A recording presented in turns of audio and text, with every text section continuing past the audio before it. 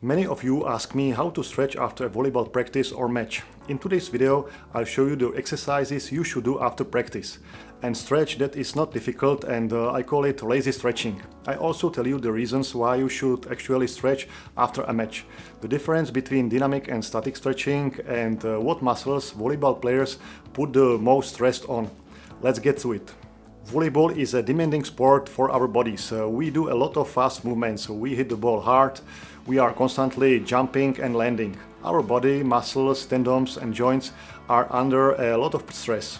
That's why it's essential for volleyball players to do stretching, because uh, stretching maintains muscle and tendon flexibility, improves joint mobility and flexibility of the whole body, acts as a preventative measure against muscle and joint injuries, such as muscle tendon and muscle tendon tears, prevents muscle imbalances reduces body tension and relaxes the whole body, increases resistance to fatigue. That's why every volleyball player, professional or amateur, should regularly stretch uh, not only after practice and games, but also before training. Before training, it's better to focus on dynamic stretching, uh, where we stretch uh, each muscle group during movements and dynamic exercises. For example, you can try my 5 minute dynamic stretching routine. The link to the video pops up now in the top right. Static stretching is uh, preferable to dynamic stretching after a practice or a game. Static stretching is usually done over a longer period of a time. When we had uh, the famous coach Julio Velasco on the national team, we used to do stretching for sometimes 45 minutes. Also, when I played in Italy, after a match uh, we would lie on the ground and devote ourselves to stretching for at least uh, 20 minutes. Yes, for some it may seem like a waste of time, but believe not only me, by stretching you will significantly reduce the possibility of muscle injury and also relax the muscles that have taken a beating in the match. Volleyball is not an endurance and conditioning intensive sport like football and longer runs in athletics. You don't have to be physically fit to climb uh, Mount Everest. On the other hand, uh, volleyball involves the whole body, all the muscles. It follows then that volleyball players have problems, uh, pain and injuries all over their bodies. Someone's shoulder hurts, another player will complain of back pain. Often our knees or ankles hurt too and almost every volleyball player will also encounter muscle problems during their career, where we pull a muscle in our thigh or have a blocked neck, for example. That's why we need to focus on almost the whole body when preventing and stretching. Imagine a football player running and kicking the ball. His legs has to keep running for 90 minutes.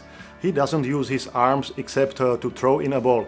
A volleyball player, on the other hand, uh, jumps all game, makes uh, quick moves in the court, and on top of that, uh, his shoulders have to withstand sometimes more than uh, 50 attacks per game. Simply in volleyball, we need to focus on stretching the whole body. Before I get into the actual exercises, I recommend uh, doing uh, after practice or a match. I want to mention and form of this exercise, I call it lazy stretching. Since we play volleyball mostly indoors uh, where it's warm and the floor is clean, we can do the entire stretch in the same place, sitting or lying on the floor. We don't have to walk anywhere, uh, we don't have to stand up. Uh, we can just uh, drop to the floor and literally roll on the floor for 15 or 20 minutes. That's why I call this stretching that uh, we do exclusively on the ground lazy stretching. It costs uh, us almost no energy. But now let's get to the actual exercises I recommend you to do after your volleyball practice or game. First of all, I would like to mention that uh, it is important to stretch the big muscle groups on the whole body during post-match or post-practice stretching. These are the ones uh, that are most stressed in volleyball. Therefore, always take the time to stretch your back, uh, legs and shoulders as a minimum. The following exercises are all performed on the ground in one spot in a static position. You can do them in the sequence I'm demonstrating or you can combine them at your own discretion. Personally, I always start by stretching my back. These are the most important for me. I lie on the ground, I bend my legs uh, to a right angle and place them to the side. Head should be turned to the other side, arms spread. I stay in this position for about 20 seconds when I try to breathe deeply. Then I put my legs on the other side.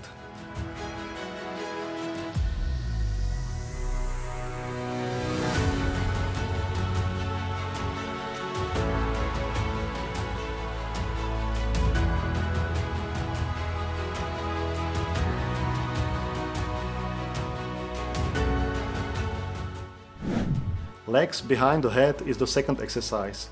I bend my legs uh, at the knees and put them behind my head, toes touching the ground. I breathe deeply again and stay in this position for 30 seconds.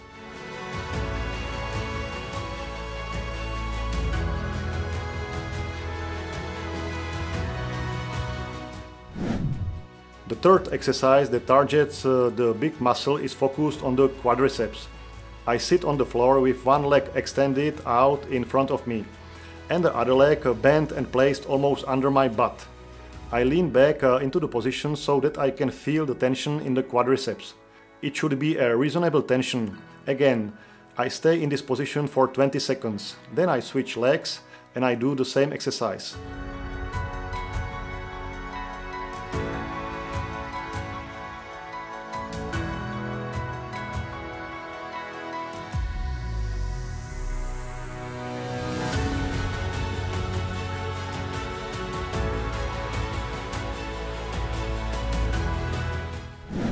I stretch the butt muscles in this exercise. I sit on the floor, one leg bent uh, and the other leg resting on it, with the ankle of one leg uh, touching the knee of the other leg. Depending on how stretched I am, I adjust uh, the angle of my legs. Again, you should feel the tension in your butt muscles, in your glutes. Once I have done 20 seconds, I switch legs. Static lunge uh, with the knees on the ground is the next exercise. Those who have knee problems or knee pain can do this exercise in knee pads or put knee pads under their knee. Putting the front leg uh, forward, we are in the lunge position. Our goal is to move the center of our body forward and stretch the legs and uh, abductor muscles.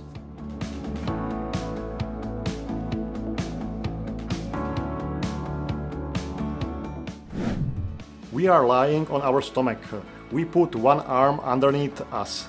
It should be at right angle to the body and we slowly lie down on the arm. This exercise is the ultimate uh, laziest exercise for me, when you may even fall asleep in this position. However, it is an excellent exercise to stretch the shoulders.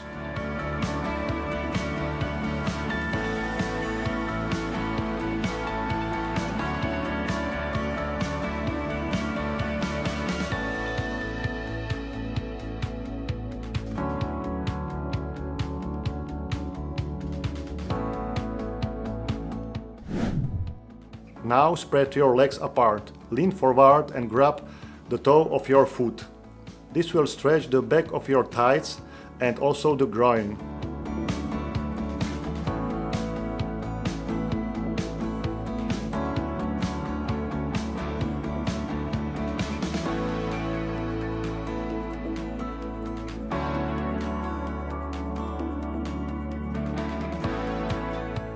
After 20 seconds, switch to the other leg.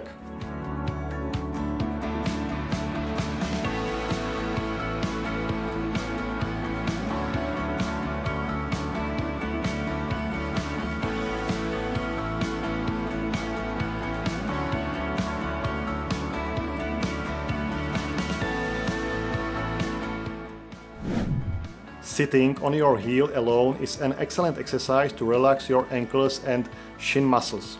I also incorporate this exercise into my stretching regularly.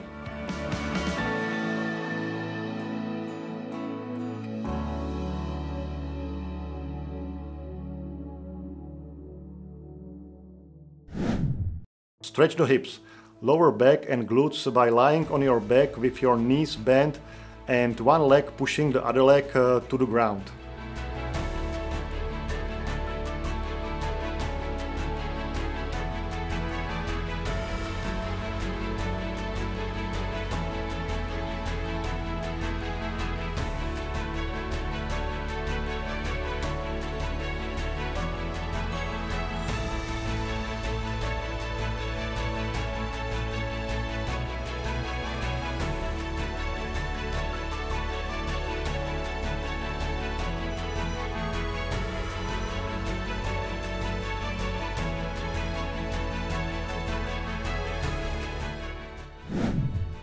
Lying on our back, uh, we lift one leg, grab it and pull it towards uh, our body. We should get the leg in this position at a 90 degree angle to the body. After 20 seconds, switch legs.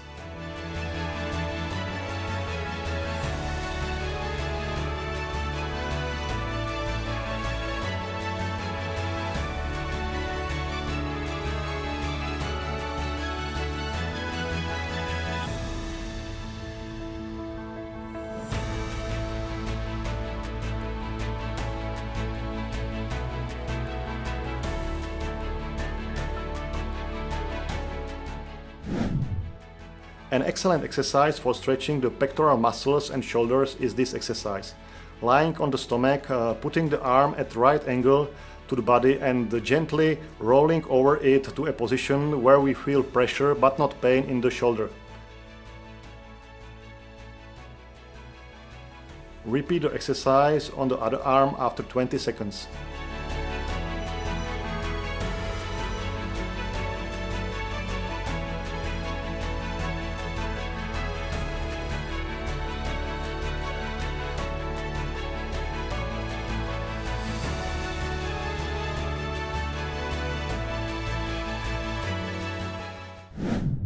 We are on our knees, uh, one leg uh, extended forward and we bend towards it, stretching the back uh, of the thighs.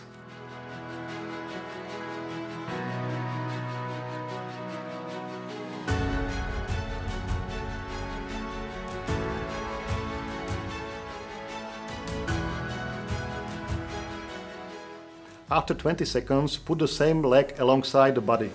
The leg is stretched again and we lean forward slightly. This exercise is an excellent way to stretch the abductors. Then move to the other leg.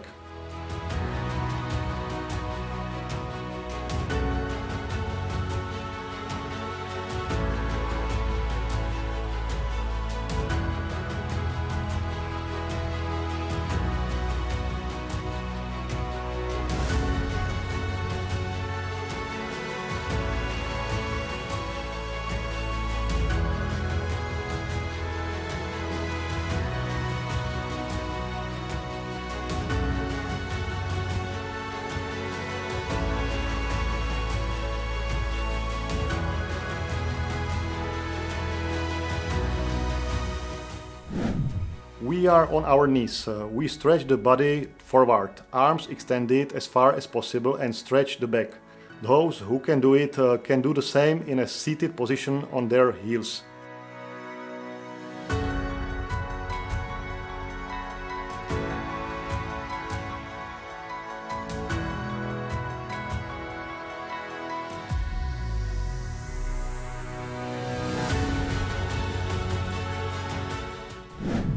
Finally, stretch your triceps. Uh, sitting on the floor, put one hand behind your head. Bend it and uh, with the other hand push it down slightly and towards your head.